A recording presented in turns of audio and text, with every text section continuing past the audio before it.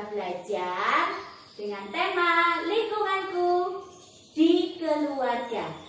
Minggu ini kita belajar dengan tema lingkunganku di rumah, yaitu tetangga.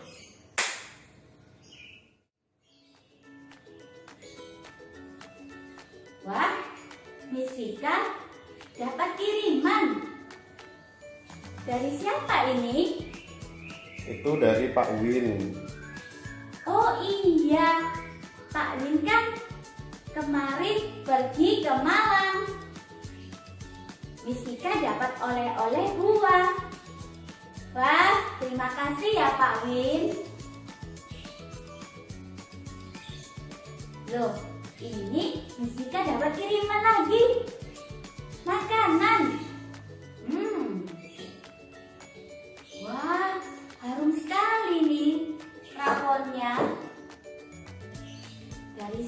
Ya? Dari Bu Slamet. Oh iya, Bu Slamet kan suka memasak rawon. Wah, baik sekali ya. Mau berbagi dengan Miss Vika.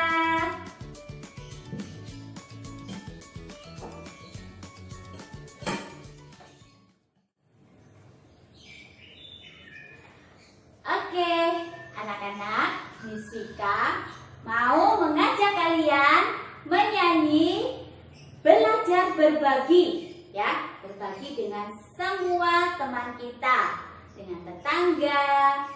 Harus berbagi ya. Oke, kita menyanyi sama-sama. Satu, dua, tiga. Ikuti Miss Vika ya. Aku belajar berbagi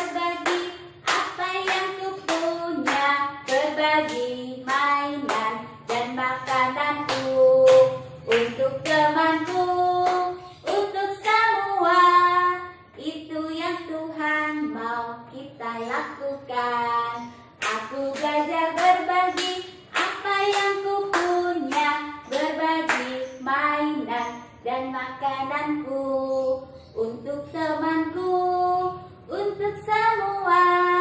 Itu yang Tuhan mau kita lakukan. Yeay! Oke anak-anak Sebelum kita belajar Kita mau berdoa dulu. Semuanya lipat tangan, tutup mata. Teman, mari kita berdoa. Tuhan Yesus, kami mau belajar sama Misika berkati semua. Haleluya, amin. Terima kasih Angelina sudah memimpin doa hari ini.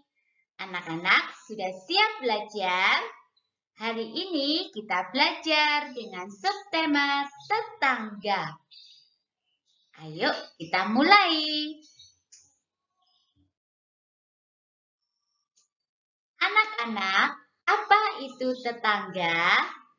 Tetangga adalah orang-orang yang tinggal bersebelahan dengan rumah kita atau di depan rumah kita dalam satu gang yang sama atau satu jalan yang sama.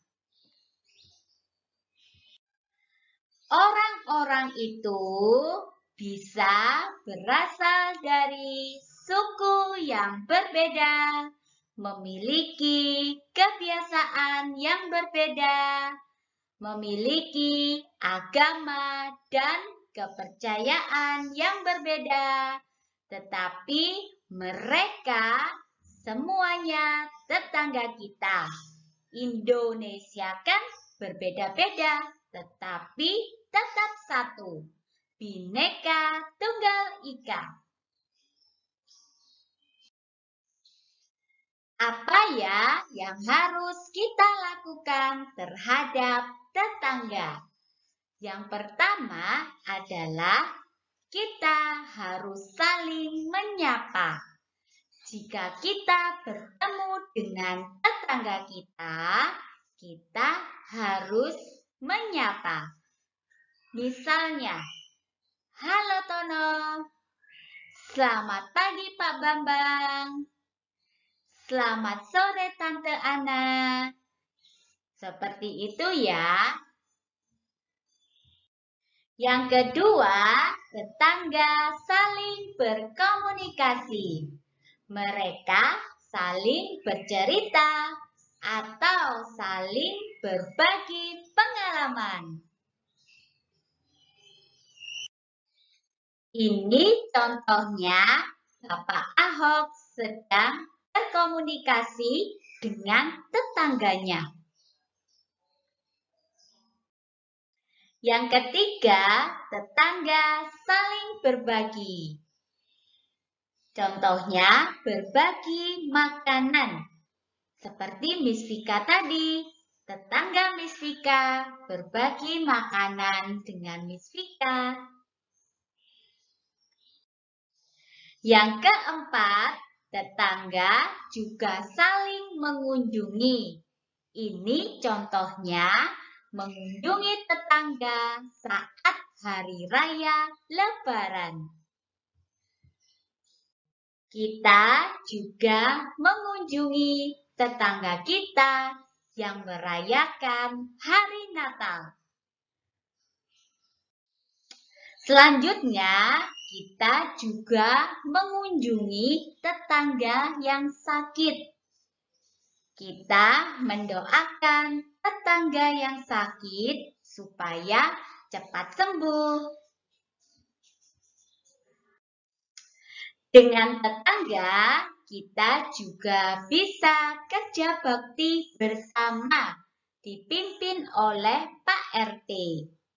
Kita bisa membersihkan selokan yang tersumbat, membersihkan sampah, dan memperbaiki jalan yang rusak. Dengan kerja bakti, kita bisa membuat lingkungan di sekitar kita menjadi bersih, rapi, dan indah. Apa yang tidak boleh kita lakukan dengan tetangga kita? Yang pertama, kita tidak boleh bertengkar dengan tetangga kita. Yang kedua, kita tidak boleh mengejek tetangga kita. Ingat ya, kita harus saling menghormati. Selanjutnya, kita tidak boleh mengganggu tetangga kita dengan suara yang keras. Misalnya, memainkan alat musik dengan suara yang keras atau mendengarkan musik dengan suara yang keras atau berteriak-teriak dengan suara yang keras. Kita tidak perlu membakar sampah karena asapnya bisa mengganggu kesehatan kita dan tetangga kita. Sampah cukup dibuang di tempat sampah.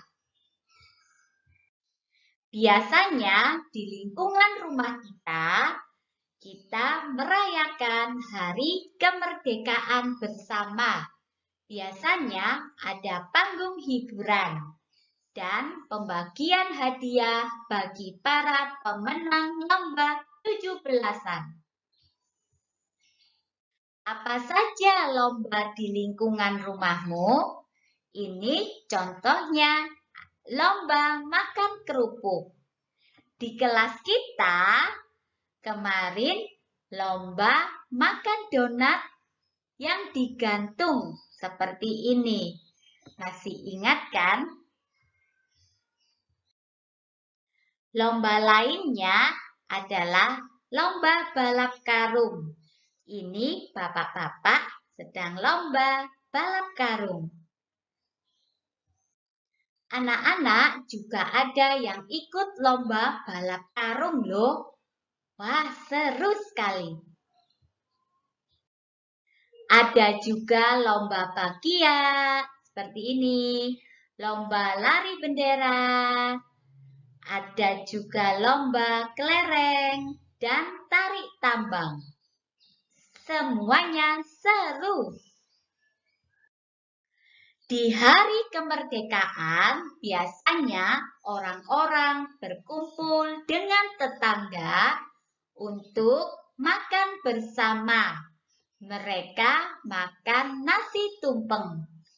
Wah, lihat lauknya banyak sekali ya di nasi tumpengnya.